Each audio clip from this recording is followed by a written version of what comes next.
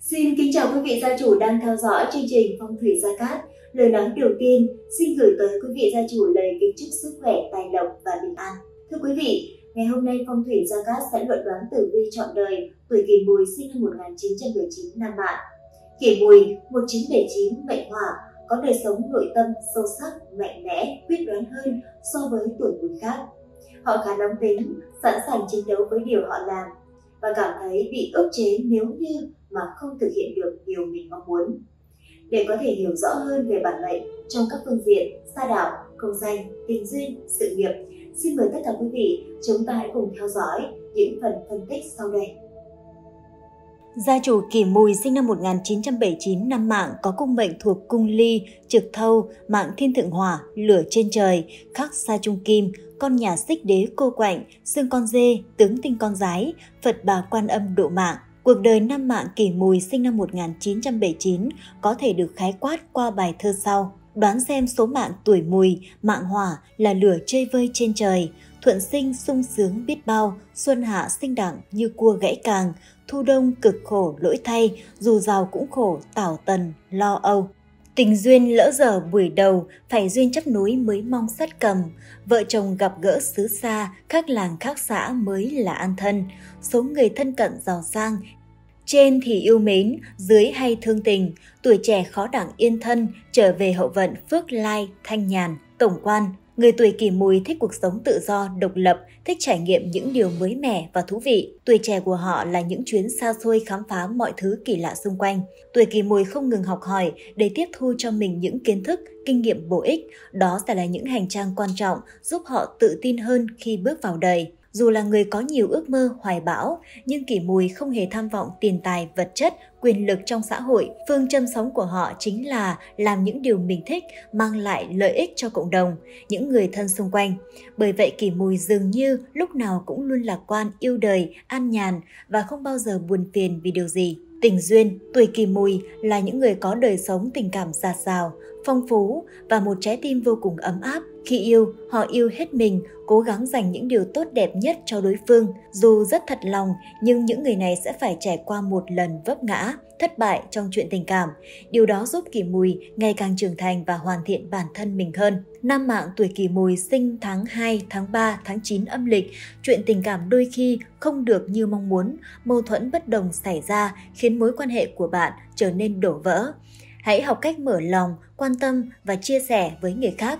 Cho đi cũng chính là nhận lại, điều đó sẽ giúp cho mối quan hệ của bạn gắn bó lâu dài. Năm mạng tuổi Kỳ Mùi sinh tháng 4, tháng 6, tháng 7, 8, 10 và 11 âm lịch, tình duyên thuận lợi, có nhiều niềm vui bất ngờ trong cuộc sống.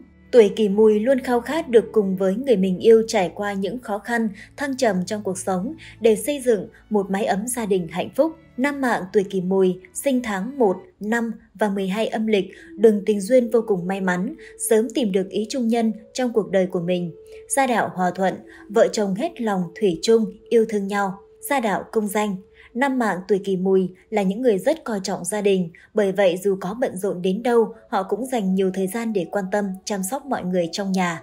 Gia đạo yên ấm, anh em hòa thuận, không bao giờ xảy ra mâu thuẫn hay bất đồng. Công danh sự nghiệp thăng tiến, phát triển ở độ tuổi trung niên, tài lộc dồi dào gặp nhiều may mắn, tuy nhiên đôi lúc vẫn rơi vào cảnh khó khăn, thiếu thốn, phải tìm đến sự giúp đỡ của bạn bè và những người thân xung quanh. Bên cạnh tìm kiếm sự giúp đỡ của người khác trong những lúc khó khăn, bản mệnh có thể chủ động tạo ra vận quý nhân cho mình bằng cách sử dụng các đấu pháp phong thủy. Phong thủy Gia Cát xin giới thiệu đến quý vị gia chủ tuổi Kỷ Mùi, sinh năm 1979 pháp khí, chiêu vận quý thần hàng đầu mang tên vòng tam hợp Hợi, Mão, Mùi.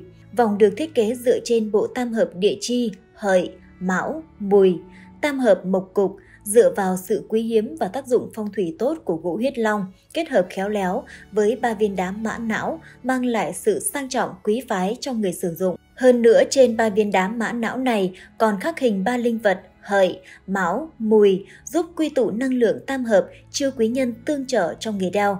Đặc biệt, vòng được khai quang trị lực để tăng thêm linh khí, sự may mắn, bình an và trở thành một vòng phong thủy hộ thân của riêng bạn. Quý vị gia chủ hữu duyên, hãy thỉnh để cảm nhận sự ứng nghiệm cho bản thân của mình. Tuổi hợp làm ăn, Khi làm ăn cần phải lựa chọn những người hợp tuổi để đạt được hiệu quả cao trong công việc. Nếu không sự nghiệp sẽ khó có thể thăng tiến, phát triển được. Tuổi kỷ mùi nên chọn đối tác làm ăn là những người tuổi quý hợi, canh thân và giáp tý. Lựa chọn vợ chồng, kết hôn với những người tuổi quý hợi, canh thân, bính dần, giáp tý, đinh tỵ và mậu ngọ, năm mạng tuổi kỷ mùi sẽ có đời sống tình cảm gia đình phong phú, thuận lợi. Không chỉ có vậy, sự nghiệp cũng gặp nhiều may mắn, phát triển đi lên. Trong cuộc đời bạn sẽ có bóng dáng của một người phụ nữ đảm đang, tháo vát, xinh đẹp, giúp mình chăm sóc cuộc sống gia đình. Không chỉ có vậy, người phụ nữ ấy còn rất thông minh, trở thành cánh tay phải đắc lực, hỗ trợ bạn trong những lúc công việc gặp nhiều khó khăn, rắc rối.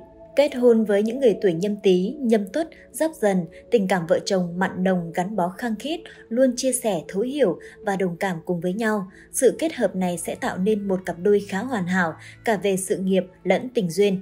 Kết hôn với những người tuổi kỷ mùi, đinh sửu, ất sửu, dù có những lúc cuộc sống chịu cảnh thiếu thốn khó khăn, nhưng tình yêu chính là nguồn động lực giúp họ cùng nhau vượt qua những sóng gió gian khổ. Hãy trân trọng những người luôn ở bên cạnh mình trong những lúc khó khăn và thử thách. Vào những năm 17, 23, 29, 35 và 47, người tuổi kỷ mùi có vận mệnh kém may mắn, không thích hợp để tiến hành kết hôn hay làm những việc quan trọng như ăn hỏi, cưới xin. Lựa chọn thời điểm, thời gian thích hợp sẽ là một yếu tố giúp cho cuộc sống hôn nhân của bạn về sau này thuận lợi và được hòa hợp hơn. Tuổi đại kỵ Kỳ mùi là những người sống thật thà, thân thiện, hòa hợp với mọi người, bởi vậy họ luôn nhận được tình yêu thương, sự quý mến của nhiều người. Tuy nhiên khi làm những việc quan trọng, tuổi kỳ mùi nên tránh những tuổi xung khắc để công việc được diễn ra suôn sẻ, thuận lợi hơn. Đó là những người tuổi ất dậu, mậu thìn, quý dậu, đinh mão, tân dậu và canh tý, bính ngọ, giáp tý, bính thìn, nhâm tý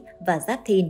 Nếu như kỷ mùi đã kết hôn hoặc hợp tác làm ăn với những tuổi kể trên thì cần phải giữ thái độ hòa hợp, nhường nhịn, tránh để xảy ra mâu thuẫn, cãi vã, làm đổ vỡ mối quan hệ. Năm khó khăn nhất trong cuộc đời của mỗi người có những lúc sự nghiệp thăng hoa, đi lên như diều gặp gió, nhưng cũng có lúc gặp nhiều trở ngại, khó khăn.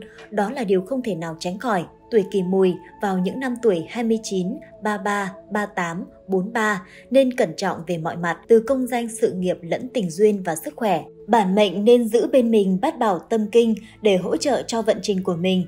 Đây được coi là pháp khí chiêu tài nạp phúc, đón bình an hàng đầu của nhà Phật. Vật phẩm được chế tác từ bạc S999 chính là chất liệu được sử dụng nhiều trong phong thủy để kỵ tà. Cùng với đó là những ý nghĩa khác nhau trong lối thiết kế được các bậc thầy phong thủy lồng ghép vào. Mặt ngoài cùng là tám pháp bảo của Đức Phật, là vật phẩm cúng dường khi Ngài giáng thế. Bát bảo chính là biểu tượng của may mắn, bình an và tài lộc. Bên trong là ngũ bộ thần chú được khắc trên cánh hoa sen, biểu tượng của sự thanh tịnh, tịnh hóa nghiệp lực, mang lại phước khí cho gia chủ. Mặt sau có các chú bát nhã ba la mật đa tâm kinh. Theo truyền thuyết khi đường tăng đi Tây Thiên thỉnh kinh được Phật bà Quan Thế Âm Bồ Tát trao tặng. Có bát nhã tâm kinh bên cạnh, mọi việc được hanh thông, giúp đường tăng bình an vượt qua mọi thử thách để đến được với Tây Thiên thỉnh kinh. Bên trên và vòng trong cùng là biểu tượng của hoa sen, nơi tọa thiền của các chư Phật nhằm thể hiện sự thanh cao, tập trung trong công việc. Đặc biệt để phát huy công năng tối đa tốt nhất, bát nhã tâm kinh trước khi đến tay của gia chủ đều được bao sái, tẩy uế, khai quang, nạp chú, chỉ lực, xem ngày giờ đẹp sử dụng cho từng tuổi riêng biệt. Các công việc này đều được tiến hành bởi các bậc thầy phong thủy nổi tiếng và kiểm nghiệm cẩn thận. Vậy nên có thể nói đây chính là vật phẩm cá nhân giúp hộ thân trợ mệnh, mang lại bình an, may mắn, cực kỳ hiệu nghiệm cho thân chủ. Ngày giờ xuất hành tốt nhất, chọn giờ xuất hành hợp với bản mệnh, giúp cho kỷ mùi tăng thêm may mắn và tự tin khi tiến hành công việc. Những người này hợp với giờ lẻ, ngày lẻ và tháng lẻ. Tuy nhiên, đó cũng chỉ là một yếu tố để quyết định sự thành công. Điều quan trọng hơn là kỷ mùi cần phải phát huy những điểm mạnh của mình, suy nghĩ tính toán cẩn thận trước khi thực hiện một kế hoạch nào đó. Diễn biến từng năm, từ năm 25 tuổi đến năm 30 tuổi, tuổi 25 tình duyên phây phới, lứa đôi sớm xây dựng được cuộc sống hôn nhân, gia đình. 26 tuổi gặp nhiều may mắn trên con đường phát triển sự nghiệp, tuy nhiên cần đề phòng vấn đề sức khỏe, không nên chủ quan với những căn bệnh nhỏ nhặt. 29, 30 tuổi, có quý nhân phù trợ, việc khó khăn nào cũng sẽ qua, cuộc sống có nhiều niềm vui. từ năm 31 tuổi đến năm 35 tuổi. Trong khoảng thời gian này, vận mệnh của người tuổi kỷ mùi lúc lên cao khi xuống thấp, bởi vậy làm việc gì cũng cần phải thận trọng, đề phòng có kẻ xấu lừa gạt, lợi dụng và có bệnh phải đi chữa trị ngay. Đây cũng chính là khoảng thời gian nhiều cơ hội thử thách nhất. Nếu kiên trì vượt qua, nhất định kỷ mùi sẽ gặt hái được nhiều thành công. Từ năm 41 tuổi đến năm 45 tuổi, những khó khăn đi qua, công việc và cuộc sống bước đầu ổn định, gặp nhiều may mắn, thuận lợi hơn. Gia đình sắp đón nhận tin vui, chăm làm việc thiện giúp đỡ mọi người, sẽ để lại nhiều phúc đức cho con cháu sau này. Từ năm 46 tuổi đến năm 48 tuổi, công việc thăng tiến thuận lợi, không có gì đáng lo ngại. Tuy nhiên, cung tình duyên lại gặp phải một số trở ngại, mối quan hệ vợ chồng xảy ra mâu thuẫn, dẫn đến dạn nứt tình cảm. Kỳ mùi cần phải sống bình tĩnh, nhường nhịn và dành nhiều thời gian của mình để quan tâm, chăm sóc người bạn đời nhiều hơn.